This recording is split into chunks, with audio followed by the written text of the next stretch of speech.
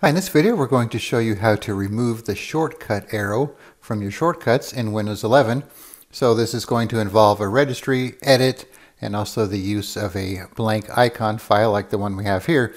So to begin with, we're going to take this blank icon file and copy it to the Windows system folder here.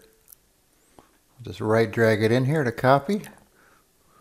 And you're going to need admin access to do this, so you'll say continue assuming you have admin access. Okay, so that file is there. All right, so now we have our registry files here, so one to remove and one to undo the removal of the shortcut arrow. So if we look at the remove registry file here, just open it in Notepad, you can see what it's going to do using this blank icon file that we just copied to the Windows folder, and then the undo to reverse it. You can see what that's going to do. So this is something you can do yourself, or you could just run these registry files, which I will put a link for in the description. All right, so first we're going to do the remove shortcut arrow registry file.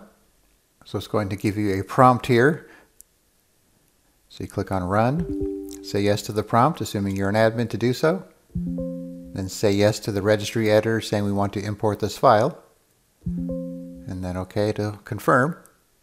All right, so now we need to restart Windows Explorer. I always like to close any File Explorer windows before doing so to make sure you have the right one. So we'll go to Task Manager. It's usually near the bottom here. Windows Explorer.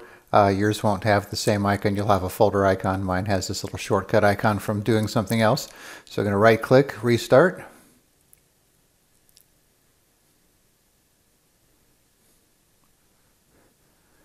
Okay, and now you can see our shortcut arrow has been removed. And then if we want to undo it, we just simply do the same thing, but with this registry file. And then of course we're going to have to restart Explorer again. And now we have our shortcuts back. So pretty simple. All right, so if you're the type of person who does not like the shortcut arrows, here's a pretty easy way to do it. I have not tried this in Windows 10, but I assume it should work, so you could give it a shot if you're still running Windows 10. And like I said, I'll put a link in the description where you could download the icon file plus the two registry files. All right, thanks for watching, and be sure to subscribe.